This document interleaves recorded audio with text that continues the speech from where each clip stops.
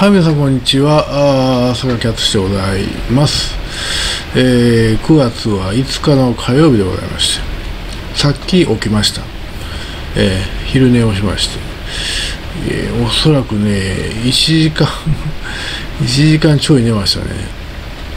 え昨日ね、あの、来客があって、昼寝をしなかったんですね。えまあ、それもあるんでしょうけどね、いやー、二度寝しましたね。はい。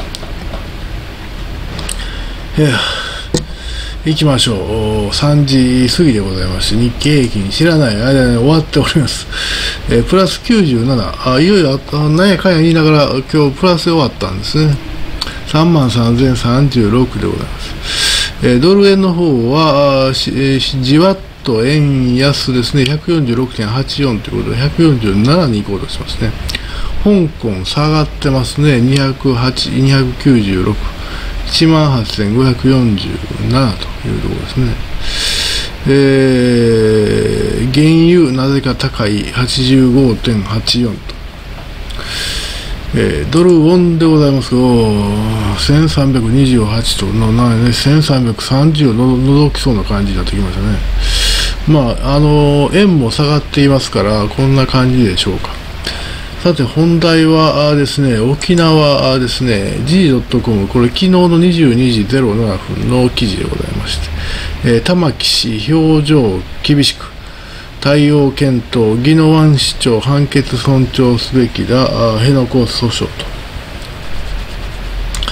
米軍普天間飛行場は沖縄県宜野湾市の名護市辺野古移転をめぐるあ移設をめぐる訴訟の最高裁判決を受け玉城デニ知事は4日記者会見し今後の対応について判決内容を踏まえ検討すると繰り返した一方、松川正則宜野湾市長は非常に重い判決で、行政として尊重すべきだと玉城氏を牽制した。玉城氏は厳しい表情を浮かべて会見に臨んだ。移設措置阻止で求める県民の意思は変わらないと話し、公約で訴えたら自らの政治姿勢に変わりはないと強調した。ただ行政トップとして軟弱自慢をに伴う工事の設計変更を承認する法的義務をと、何やそれ、ようしませんけど、えー一般論として検討せざるを得ないと含みを持たせ、えー自らの政治姿勢と行政判断の整合性をどう取っていくかが知事には最も重要だと語った。一方、普天間飛行場のある宜野湾市返還合意から27年経つが、あ市街地への米軍機部品の落下が相次いでいる。判決を受け、松川氏は記者団に我慢の限界だ。県が法廷闘争を続ける間も市民の心は一日も休まらない。えー、移設計画が大きく動くと期待していると訴えた。これ、なんていうか、あの、問題の 本質というか、あの、いや、移転したらいいだけの話なんですよ。はっきり言うて。で、あの、移転先がですね、同じ沖縄であるということをですね、この玉城デニーというアホのおっさんがですね、うっと、いやいや、県外に出ろって言うてるだけの話なんですよ。あの普天間が辺野古に行く辺野古っていうのは北の方の誰も住んでへんところの大きい埋め立てで作ってるわけであってもういいやんそっちでという話ですね。で普天間はですね沖縄の南にあって市街地なんですよ。市街地というか元は何もなかったんですけどあ便利な場所なんで、えー米軍の飛行場ができた後で住宅地に変わったっていうだけの話なんですよ。だからアメリカ軍からしたらね何やこいつらっていう話なんですね。あのね、ギャーギャー言うともしゃあないですよ。あのね、明確に日本はアメリカに戦争を負けたんですよ。だからね、あの、アメリカ軍基地があるということに対してはね、もうしゃあないね、これは。あの、日米地位協定というのがあるんですよ。悔しかったらもう一回アメリカと戦争して勝ちますか？そういう根性あなたにありますか？っていう話なんですよ。そこでね、ギャーギャーギャーギャーごねてもしゃあないの。言うこと聞けよって話なんですね。玉城デニーみたいなわけわからん左翼のおっさんはですね、えーもうわけわからん権利を主張するわけですよ。あもうとっととね、移転自体には合意してるわけですよ。27年前にね。だからこう行ったらええやんって話ですよ。呼んで、米軍が出てってくれるっていうんやったらええやん、それでと。いう話だって基地のね作るお金も日本政府が出すわけですよ出してるわけですよそれをギャーギャーギャーギャー文句言ってるわけであってアホちゃうかと思うんですね。でアホが騒いでる程度のアホが騒いでることで済むんですけどまあ多分そのはいえー、なんかしょうもない電話がかかってきました。えー、あのいやだからねいや認めたら逆の話なんですよ。でねぐずぐずぐずやってるうちにねもしかして台湾が始まったりするでしょ。もしかして台湾が始まったりするとですね沖縄のですね米軍基地から出撃したアメリカ軍がですね、えー、中国軍と交戦する可能性があるんですね。その場合、どうなるかと言いますと、中国軍はアメリカ軍の基地に対して攻撃をかける可能性があります。えー、っとね、まあいろいろややこしいんですけど、仮にね、あの、これが戦争だと考えると、当然それはですね、日本はですね、アメリカ軍側というふうに見なされるんですね。で中国は当然、その日本の領土にあるアメリカ軍基地に対して攻撃してもいいということになるんですよ。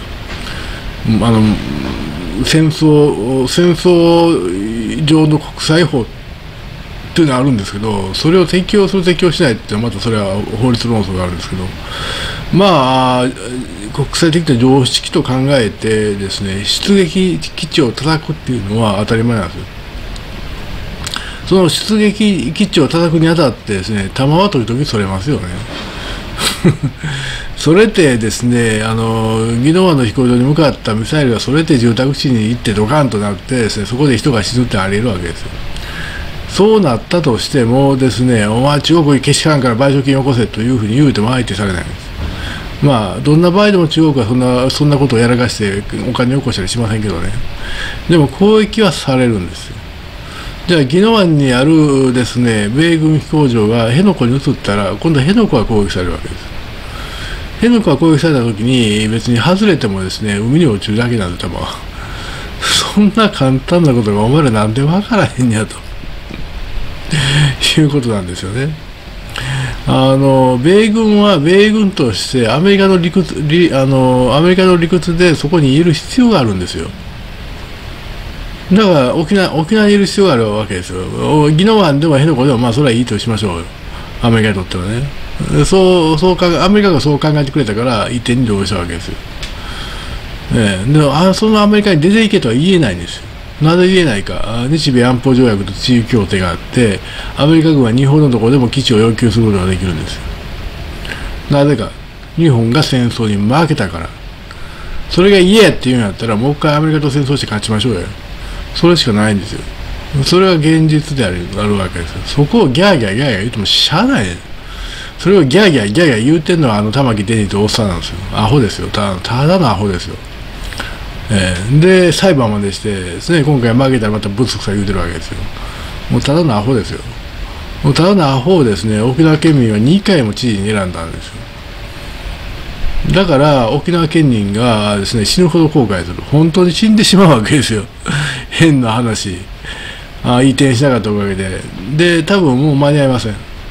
台湾の有事があるとすればここ数年以内に起こります。数年で移転なんかできないでしょ。だから宜野湾の住民のですね何人か何人かで住んだらいいけど何十人か下手したら何百人かが犠牲になる可能性は十分になります。それを招いたのはアホの玉城デニー知事ということになりますね。そのアホの玉城デニー知事を選んだのはですねアホの沖縄県民ということになります。アホですね。ほんまに。えー、そういう現実というものをですね受け入れられなければですねいつかは不利益を被るということですね。こんな沖縄県民にとってはね、えー、1円も払わずにですね基地がなくなるわけでしょ、宜野湾には。沖縄県の外に出すとか言うからね、話がややこしいわけであって、そんなことを言い出したら鳩山幸夫とか言うのもですね、ただのアホですよ。